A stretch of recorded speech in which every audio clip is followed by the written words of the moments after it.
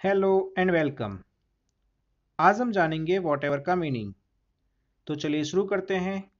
Video start करने से पहले टेलीग्राम चैनल का लिंक डिस्क्रिप्शन बॉक्स में दिया हुआ है। आप वहाँ से हमें पीडीएफ के लिए ज्वाइन कर सकते हैं। आज का वर्ड है वॉट एवर इसका मतलब होता है जो कुछ, जितना, जो जो, कोई भी, कुछ भी, हर एक, और वन और सम और एवरी और ऑल विदाउट स्पेसिफिकेशन चलिए इसके यूजेस देख लेते हैं।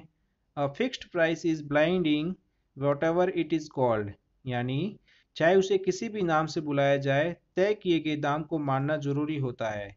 Thank you